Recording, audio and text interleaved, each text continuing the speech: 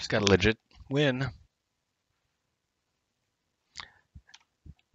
I, yep, I did a, I was a kill lead.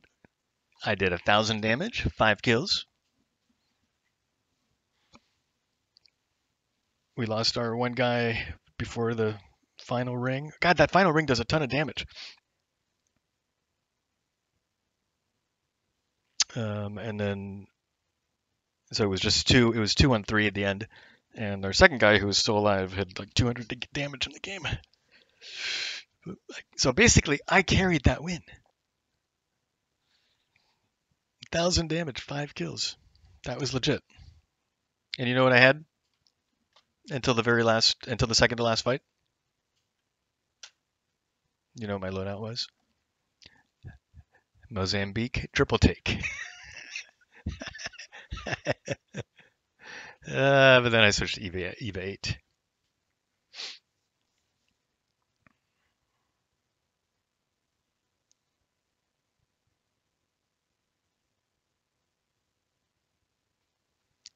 I wish we had the